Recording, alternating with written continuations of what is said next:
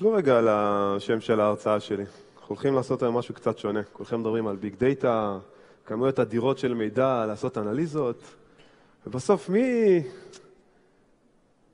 מי מקבל תשובות? מי מחליט החלטות על השאלות האלה? אתם. מתי פעם אחרונה הרצתם אנליזה על מיליארד שורות, או לעשות כל מיני, אתם יודעים, לקבל החלטות על כמויות עצומות של מידע? הכל מתחיל מהילדים שלנו.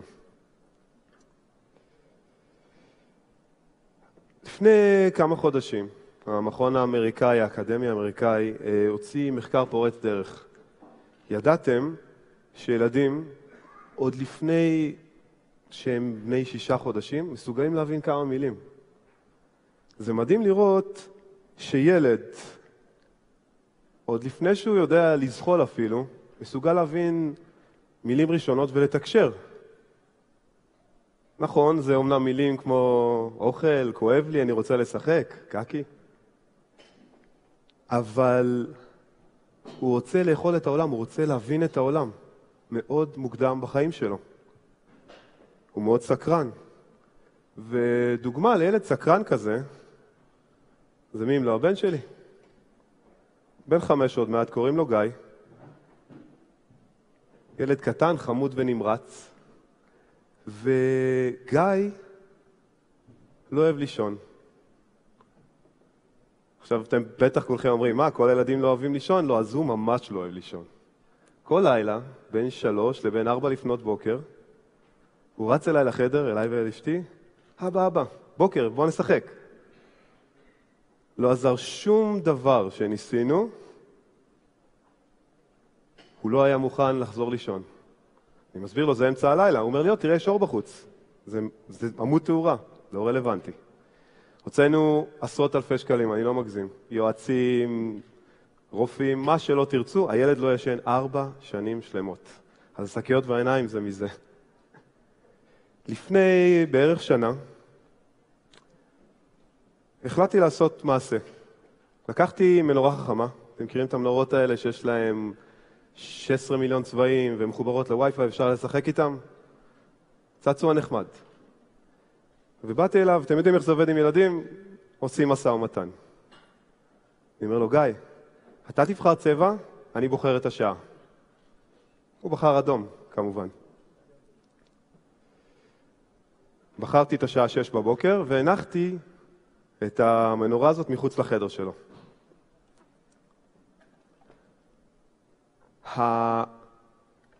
הדבר הזה, האור בעצם, למחשבתי, הוא יוצר איזשהי סוג של שפה. ותנחשו מה? זה עבד כמו קסם. שש בבוקר האור נדלק באדום, והוא מתעורר. וזה לא באמת ככה, הוא בעצם מתעורר באמצע הלילה, הוא רואה שאין אור מחוץ לחדר שלו, וחוזר לישון. אז חשבתי לעצמי, אם זה עובד כל כך טוב על ילד בן ארבע היום, שלא יודע לקרוא שעון, לא, אני לא יכול להגיד לו שש בבוקר תקום, למה שזה לא יעבוד עליכם בעולם העסקי? לפני 12 שנה אני וארבע חברים שלי הקמנו את Sisense במטרה לפשט את עולם ה big data, את העולם המורכב הזה והמסובך הזה. אנחנו יודעים להתחבר לכל מקור מידע, בענן או בתוך החברה premise, כמויות אדירות של מידע, מאגדים את הכל לעולם אחד, ונותנים לכם לשאול שאלות בלי צורך לכתוב uh, קוד. וכל זה במאיות השנייה. אנחנו תמיד מתקדמים עם הטכנולוגיה ורוצים להיות בעצם פורצי דרך. וזה הביא אותי לחשוב שאם זה עבד כל כך טוב על הבן שלי, האם אנחנו יכולים ליצור משהו שהוא חוויה שונה בעולם הביג דאטה? וזה לצרוך מידע באמצעות החושים שלכם. איך עושים את זה? אור, אור ראייה זה חוש, שמיעה, מישוש, ריח. אז לקחתי על עצמי להוביל את פרויקט סייסנס Everywhere, סייסנס בכל מקום, שנותנת למנהלים ולמחלקות בכל רחבי העולם לחוש את המידע שלהם. בואו נדבר קצת על איך הדבר המדהים הזה קורה. הפרויקט הראשון נקרא Sisense Lights או Smart Lights. בדיוק כמו הבן שלי, אנחנו הנחנו מנורות חכמות בכל מקום בעולם, והמנורות האלה בעצם מתחברות למדד. המדד הזה יכול להיות uh, מכירות יומיות, המדד הזה יכול להיות uh, כמה טיקטים היו, וכן הלאה וכן הלאה. שמנו את זה גם ב-open spaces וגם בחדרים של uh, מנהלים. ותנחשו מה, בכל מקום שהמנורה הזאת נמצאה, יש שיפור במדדים של בין 20 לבין 500 אחוז. נשמע הזוי, נכון? אבל אף אחד לא אוהב לראות אור אדום. זה כמובן מתחבר לטרשולד של, ה, אה, אה, של ה-KPI. המנורה הזאת עובדת כל כך טוב על ילדים ועובדת כל כך טוב עלינו. הפרויקט השני הוא אמזון אקו, המוצר הנחמד הזה כאן. שעוד פעם, אני לא יודע אם הווי-פיי עובד, אז בואו ננסה. אקו, היי. Echo, start Sisense. Loading your Sisense environment. Done going over your data. I think I am ready. What is my total revenue filtered by USA? Total revenue filtered by USA result is 21,568,836.69. Now, think about Think about a little boy that knows, אני חוזר, אני הולך, ל, אני תמיד עושה את ההרצאה הזאת באנגלית, זה קצת קשה לי עם העברית, סלחו לי. תחשבו על ילד קטן שבא ויודע לדבר עם המכשיר הזה. הוא יודע כבר לדבר החל מגיל שנה וחצי. הוא יכול לגשת למידע בקלות. מה המרחק מכדור הארץ למאדים? שאלה שהבן שלי שאל לא מזמן, זו דוגמה בגוגל אמנם. מה הטמפרטורה היום? האם ירד גשם? פתאום היכולת שלו לקבל מידע היא לא רק מאיתנו ההורים, אלא גם מהמכשיר הזה. אז כמובן, שוב, הצבנו את המכשירים האלה בכל מקום בעולם, בישיבות של הנהלה, או במקומות כמו המקום הזה, Clean Environments. אנחנו, יש לנו המון חברות שעובדות עם קלינטק. ומה הבעיה במקומות של קלינטק? אסור לגעת במסכים וכל מיני לכלוכים למיניהם. פתאום הארגונים האלה יכולים לגשת לכל המידע שלהם בצורה פשוטה, כמובן הם צריכים מנוע מאוד מאוד חזק מאחורי הקלעים, שיחזיר אליהם את התשובות במהירות. עוד דוגמה, זה חברה שיש לה אלפי בניינים ברחבי העולם. עשרה אחוז מהבניינים האלה הם בניינים שהם מה שנקרא היי-אנד. יש מישהו בלובי שעושה בשבילכם הכל. אבל 90% מהבניינים לא קיים שום דבר כזה. המנכ"ל של החברה הזאת פנה אלינו והחליט שהם יציבו את האקו הזה בכל לובי, ובגדול, תבואו ללובי בבניין שאין בו קונסרייז' ותתחילו לשאול אותו שאלות.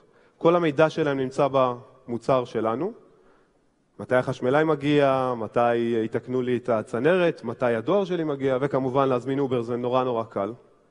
ולפתע, האנשים האלה מחוברים למידע בלי צורך בבן אדם מאחורי הקלעים. הפרויקט האחרון יצא לפני שבועיים. אתם בטח שמעתם על מהפכת הצ'אט בוטים, היה פה אירוע מאוד גדול לפני שבוע. צ'אט בוטים הם בעצם היכולת שלנו לתקשר עם עולם המידע נקרא לזה, בלי uh, לפתוח אפליקציה. תחשבו מה קרה לנו בשנים האחרונות מבחינת uh, האבולוציה של התקשורת. אני כבר רואה את האבולוציה הזאת כאן. אתה ואת ואת, אמיתי. כולכם בצ'אטים, כל היום. האבולוציה הזאת התחילה משיחות, המשיכה לטלפונים, עשתה טרנספורמציה למיילים, שנקרא הטקסט הכתוב הארוך, ועכשיו כולנו בצ'אטים כל היום. אז למה בעצם שלא נוכל לצרוך מידע באמצעות הצ'אט, הצ'אטים האלו? הסמארט בוט שלנו הם חכמים. הם לא רק נותנים לנו את הגרפים הנחמדים האלה על. על המסך. הם יודעים לבוא ולעשות אנליזה מאחורי הקלעים. זה בעצם הדאטה סיינטיסט הרובוטי שלך. אז במקרה הזה אני רואה איזשהו גרף על המסך, וייקח לי כמה דקות, עד, עד שעה אולי, להבין את כל היחסים בין האלמנטים על הגרף הזה. הסמארט בוט הזה יכול לעשות את זה בקלות. הוא מריץ מאות פונקציות סטטיסטיות על, ה, על הגרף הזה. הוא יודע לעשות עוד שתי דברים. הוא יודע, הוא יודע אה, להתחבר לקלנדר שלכם ולהסתכל על יומן הפגישות, ולפני הפגישה הוא אומר לי, עדי, בשביל הפגישה הקרובה עם המנכ"ל, כדאי מאוד שתסתכל על הנתונים האלה. נגמר לנו הזמן, יש עוד הרבה דברים, אבל אני רוצה לסכם בסרט קצר שהכנתי לכם כדי לסכם את ההרצאה הזאת. תודה רבה.